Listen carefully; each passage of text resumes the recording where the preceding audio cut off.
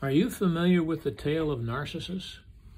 This was a character in Greek mythology that was a hunter, and he stopped by a pool of water to drink something, and he saw his own reflection, and he so fell in love with his own reflection that he cut himself off from all other human relationships and eventually committed suicide.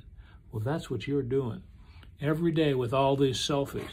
You got to see your face. You got to see your, you know, you got these pictures of the girls all standing sideways with their hand on their hips or running all the filters and making yourself look look younger. And then when you actually meet people in real life, they're disappointed because you don't look 20 when you're really 40. I'm 73 years old. I'm not going to run any filters over my face. I'd look like I had uh, plastic surgery or Botox. I don't want to do that to you. I want you to know who I am. I'm 73 years old. I've been around a long time, done a lot of right things, a lot of wrong things, and I have lots of wisdom. And I'd like to share it with you. But this, uh, my note today about selfies is take the take the attention off yourself and put it out in the world, and you'll discover that there's a wonderful, wonderful world around you.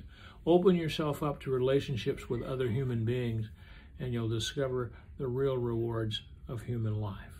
This is Tom Alston, Aero Marine Tax Professionals. If you want to talk about it or you want to argue with me about Greek mythology, call me 916 691 9192.